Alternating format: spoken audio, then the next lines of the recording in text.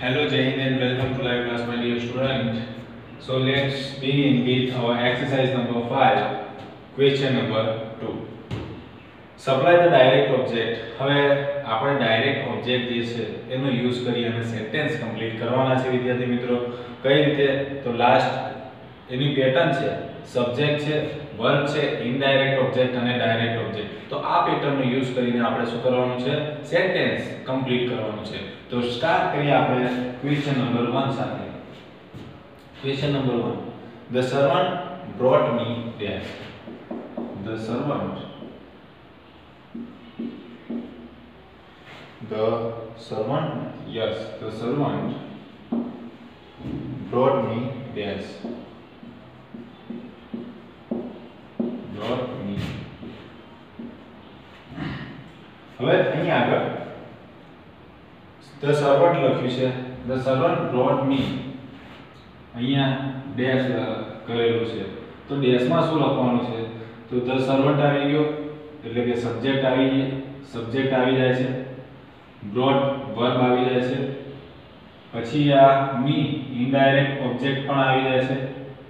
અને હવે direct object એટલે કે એક ઓબ્જેક્ટ જ લખવાનું છે. તો શું હશે? ધ સર્વન્ટ બ્રોટ મી અહીંયા ગમે તે વસ્તુનું નામ લખી શકાય. અહીંયા આગળ લખી નાખો. શુગર બરોબર? કોઈ પણ વસ્તુનું નામ લખાય. કે ભાઈ સર્વન્ટ એટલે કે નોકરે મને ખાંડ લાવી આપી. બરોબર? તો શુગર લખો. કે ગ્રોસરી પણ તમે લખી શકો. કંઈ પણ એટલીસ્ટ તમે લખી શકો. જે તમને ઈઝી લાગે.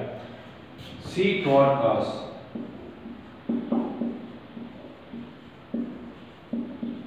અહીં આગળ આપણે ઇંગ્લિશ લખી દઈએ taught us english. સબ્જેક્ટ આવી ગયો વર્બ આવી ગયો અસ ઇનડાયરેક્ટ ઓબ્જેક્ટ અને ડાયરેક્ટ ઓબ્જેક્ટમાં આપણે ઇંગ્લિશ આવશે. એ જ રીતે number 3 I ask Misha I ask Misha અહીં આવશે અ ક્વેશ્ચન બરાબર? Subject verb Misha direct object અને આ ઇનડાયરેક્ટ ઓબ્જેક્ટ અરે આ ઇનડાયરેક્ટ ઓબ્જેક્ટ અને આ ડાયરેક્ટ ઓબ્જેક્ટ તો મેં મિશાને ક્વેશ્ચન પૂછ્યો. Number 4 they gave the boy મસ્ત સેન્ટેન્સ બનાવીશું આપણે. The gave they gave a boy. A toy. તેને છોકરાને શું આપ્યું? તો અટવાય રમકડું તો મેં બોય છે, તો એના જેવો રાઈમ્સ આવો શબ્દ લગાવી દીધો ટોય સરસ મજાનું વાક્ય બની જાય, તે gave a boy a toy the boy લખ્યું છે ને? અહીંયા ધ બોય લખ્યું છે. ધ બોય ઓકે ચલો number 5 my friend lent me dash my friend lent me અહીંયા આગળ લખી નાખવાનું સમ મની મારા મિત્રએ કેટલા પૈસા મને પૂછીને આપ્યા my sister sold me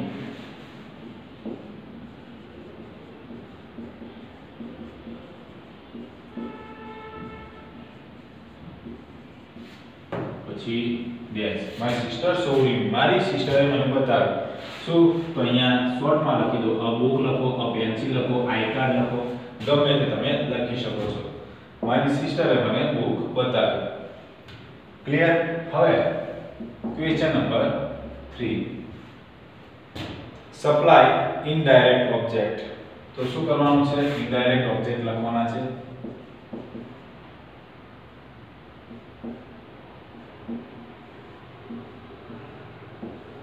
supply indirect object હવે ખાલી જગ્યા છે, તો ચલો ખાલી જગ્યામાં આપણે આન્સર લખવાનું સ્ટાર્ટ કરીએ.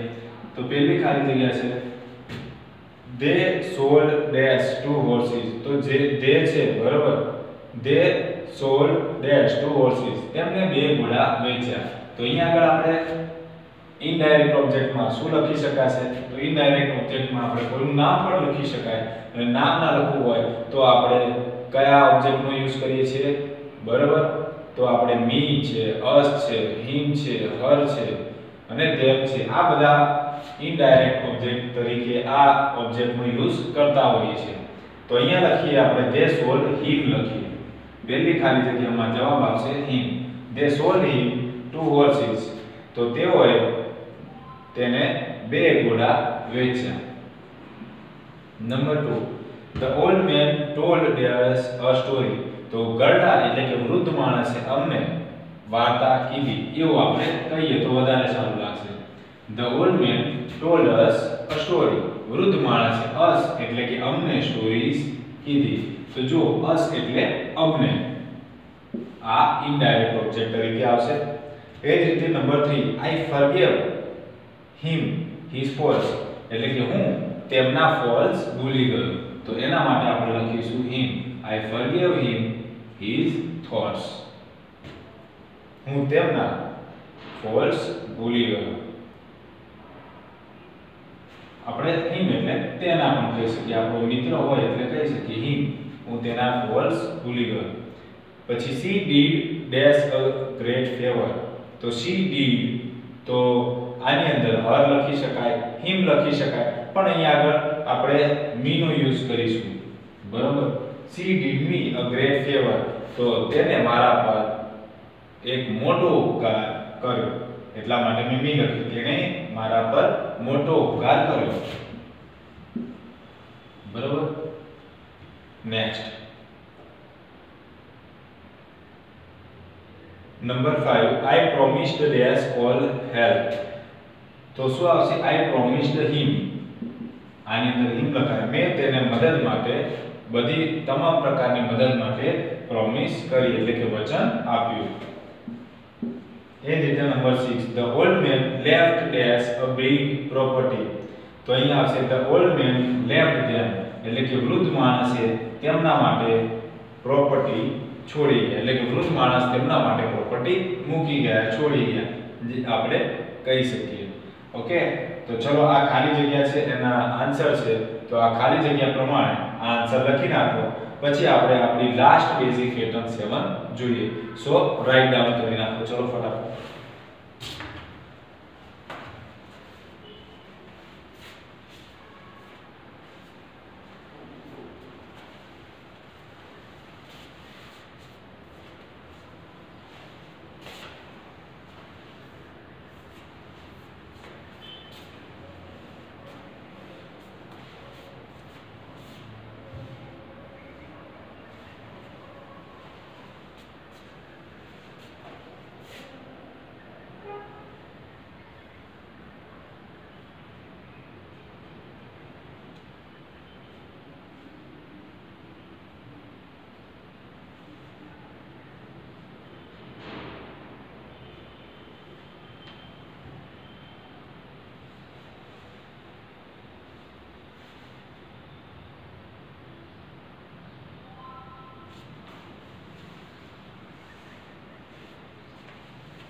ચલો બેઝિક પેટર્ન 7 જોઈએ આપણે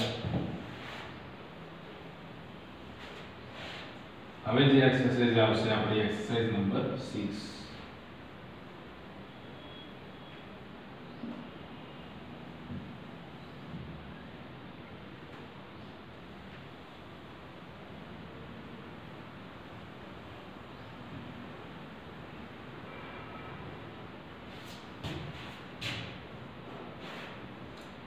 basic pattern 7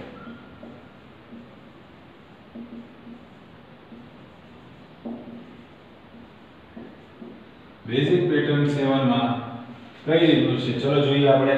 તો subject work object and object complement તો subject work object and object complement બરોબર? આ રીતનું સ્ટ્રક્ચર બનશે. તો જોઈએ આપણે સેન્ટેન્સ ઓબ્જેક્ટ કોમ્પ્લિમેન્ટ એટલે કે ઓબ્જેક્ટ રૂપ અન્ય શબ્દો, જેને આપણે એ રીતે કહી શકીએ છીએ આપણે ગુજરાતી ભાષામાં. તો લખીએ આપણે. વી વી chose him.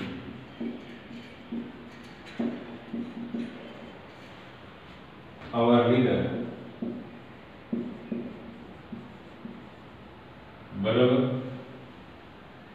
હવે જો અહીં આગળ, તો આ સબ્જેક્ટ થઈ ગયો, આ વર્બ આ હી એ ઓબ્જેક્ટ થઈ ગયો. બરાબર? અને પછી છે ઓબ્જેક્ટ કોમ્પ્લિમેન્ટ તો આ જે અવર લીડર છે, એ એ ઓબ્જેક્ટ કોમ્પ્લિમેન્ટ કહેવાશે. આ રીતે પણ સેન્ટેન્સ બને. બરાબર? હવે તમને એવું લાગે કે, સર, આ જે પેટર્ન છે એમાં હિમ છે, એને ઇનડાયરેક્ટ ઓબ્જેક્ટ ના કહી શકાય. કહી શકાય, વિદ્યાર્થી મિત્રો. ઇનડાયરેક્ટ ઓબ્જેક્ટ પણ કહી શકાય. બરાબર? વી ચોસ હિમ તો શું ચોસ કર્યું? બરાબર? એ નથી કીધું. આ છે ઓબ્જેક્ટ કોમ્પ્લિમેન્ટ બરાબર? એ રીતે સેકન્ડ એક બીજું એક ઉદાહરણ લઈએ. We found the book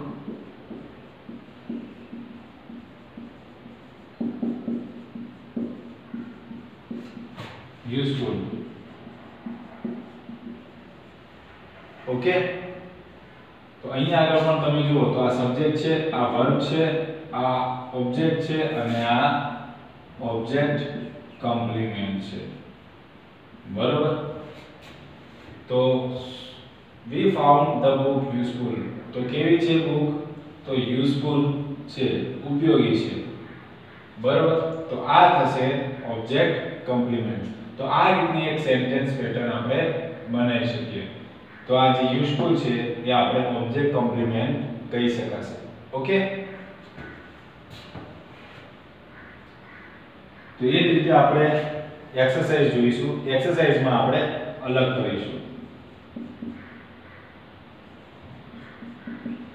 exercise number આપણે પાંચ ને 6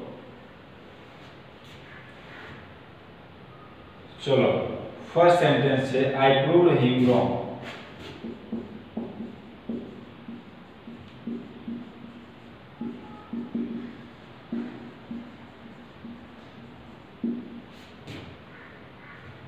clear તો જો અહીંયા આગળ આઈ પ્રૂવડ હિમ રોંગ તો અહીંયા આગળ આ જ થશે આપણા માટે સબ્જેક્ટ આ થશે વર્બ આ થશે ઓબ્જેક્ટ અને આ થશે આપણા માટે ઓબ્જેક્ટ કમ્પ્લીમેન્ટ જેને શોર્ટમાં આપણે ઓસી કહીશું. એ જ રીતે નેક્સ્ટ છે માય ફ્રેન્ડ્સ થોટ હર હા my friends thought her neat my friends thought her mean બરાબર? મારા ફ્રેન્ડ્સને લાગે છે કે તે ગાંડી થઈ ગઈ છે. તો જો અહીંયા આગળ માય ફ્રેન્ડ્સ સબ્જેક્ટ છે. થોટ વર્બ આ થઈ જશે ઓબ્જેક્ટ અને આ છે OC object complement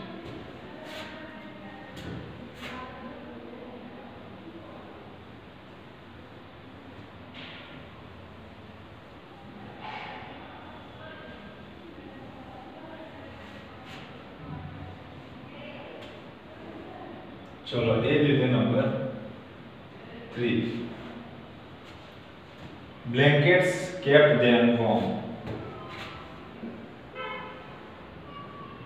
blankets kept them warm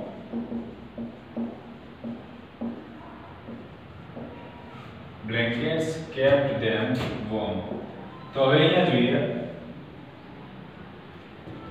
હવે બ્લેન્કેટ છે એને આપણે સબ્જેક્ટ ડિફાઇન કરીએ છીએ અને વર્બ અહીંયા ધ્યાન લખ્યું છે ઓબ્જેક્ટ અને ફોર્મ એ આપણે ઓબ્જેક્ટ કોમ્પ્લિમેન્ટ કહેવાશે. બરોબર? બ્લેન્કેટ્સ કેપ્ટ ધેમ વોર્મ એ જ રીતે number 4 they elected me their captain. They elected. Elected એટલે ચૂંટી કાઢવું. મી there captain.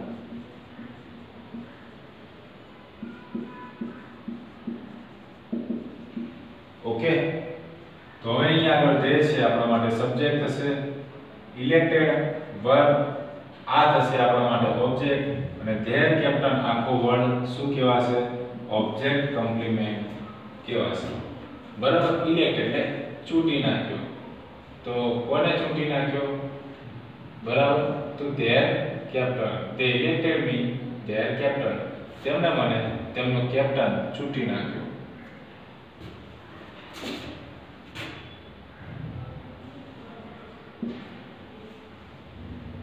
Number five, this business will make you rich.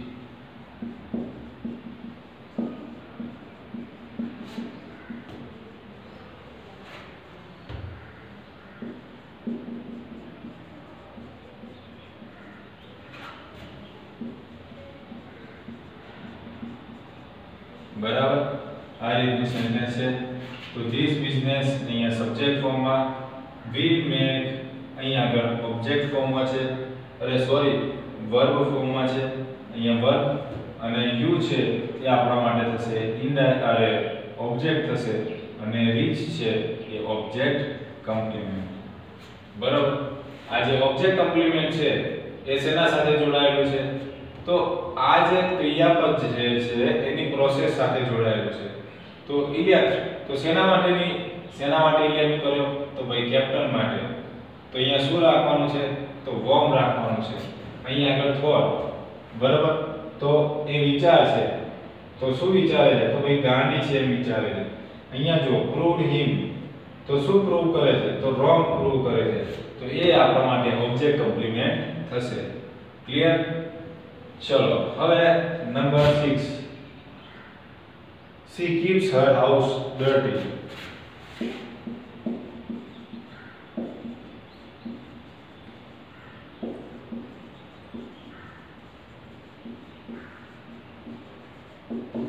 તો અહીંયા જુઓ સી સબ્જેક્ટ આ થશે વર્બ આ થશે ઓબ્જેક્ટ બરોબર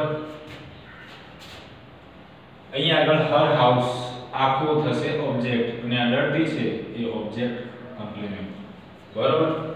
કીપ એટલે રાખવું. શું રાખે છે? તો એનું હાઉસ કેવું રાખે છે? તો ડર્ટી તો એ જે ડર્ટી છે, એ આપણા માટે ઓબ્જેક્ટ કમ્પ્લિમેન્ટ થશે. બરોબર?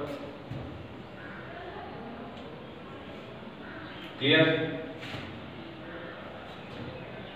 ચલો, આટલે સુધી લખી નાખો. પછી આપણે નેક્સ્ટ સેશન તરફ આગળ વધીએ. એમાં આપણે શું કરવાનું છે?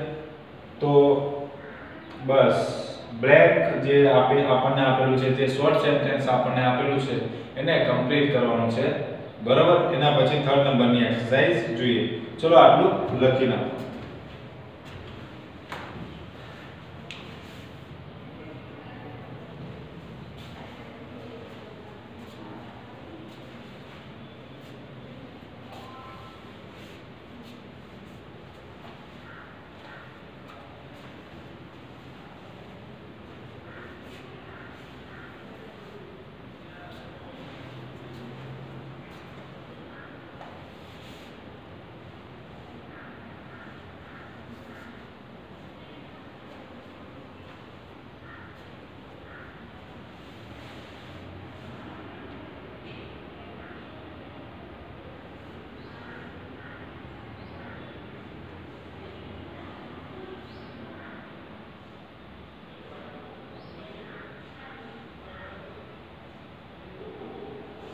ચલો હવે નેક્સ્ટ સેશન સ્ટાર્ટ કરીએ આપણે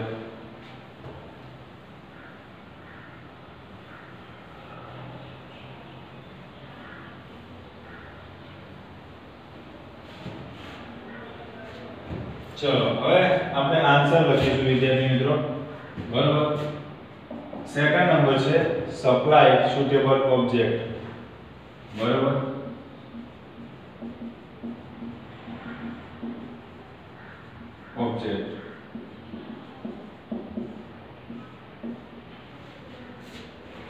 ક્લિયર તો ચલો ફર્સ્ટ નંબરનું સેન્ટેન્સ છે. ફર્સ્ટ નંબરના સેન્ટેન્સમાં શું લખ્યું છે? આઈ થિંક હિમ ડેશ તો અહીં આગળ આપણે લખીશું પહેલાના આન્સરમાં રોંગ મને લાગે છે તે ખોટો છે. Second we found the problem કેવો લાગ્યો? પ્રોબ્લેમ તો ડિફિકલ્ટ લાગ્યો.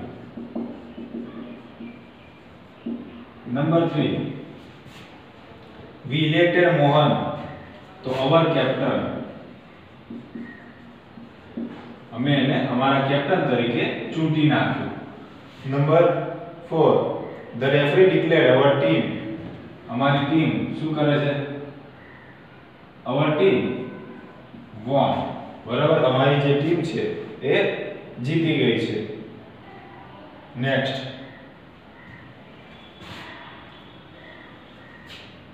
નંબર 5 અહીંયા વોન તમે લખી શકો છો. બરાબર?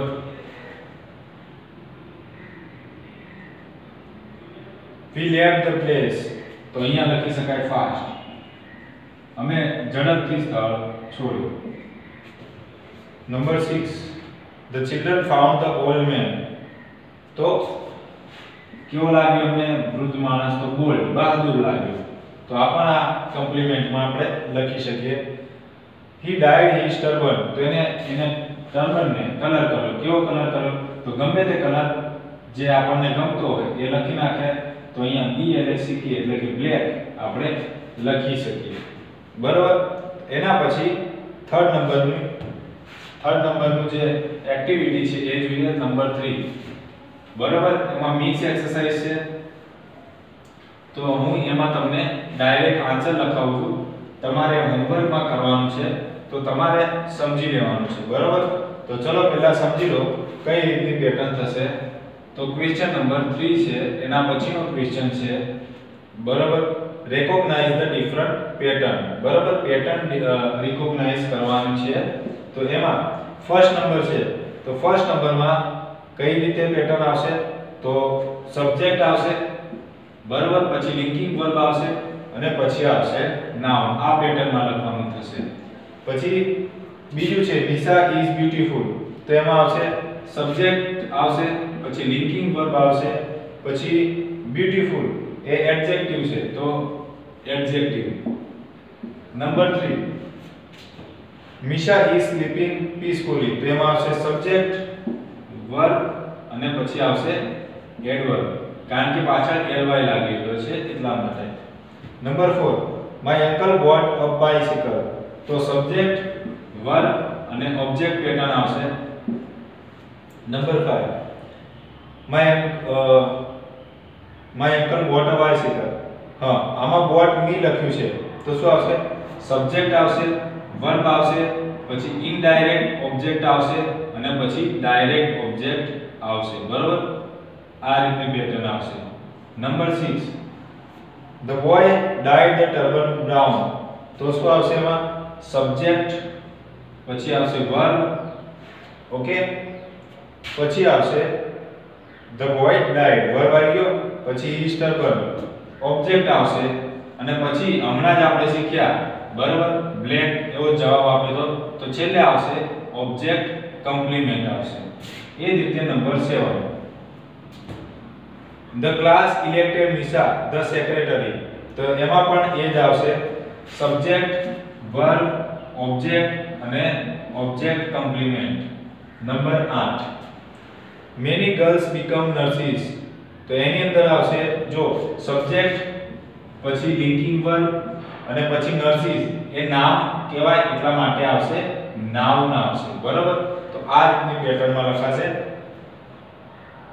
પછી number 9 she made a speech તો એમાં કઈ રીતે લખાશે? Subject plus verb plus object આ સિમ્પલમાં સિમ્પલ પેટર્ન લખાશે. પછી આઈ એમ ફીલિંગ હેપી તો એની અંદર આવશે સબ્જેક્ટ આવશે પછી લિંકિંગ વર્બ આવશે અને પછી હેપી એ શું કહેવાશે? વિશેષણ કહેવાશે. તો એડજેક્ટિવ લખાશે. ઓકે તો આ 10 સુધી હું તમને કહી દઉં છું. પછી જે બાકીના ચાર છે, એમાં તમારે પ્રયત્ન કરીને તમારે જાતે લખવાનું છે. બરાબર? તો હવે હોમવર્કમાં તમારે આપણે ચેપ્ટર નંબર 16 ની ઓલ એક્સરસાઇઝ કમ્પ્લીટ કરવી. બરાબર?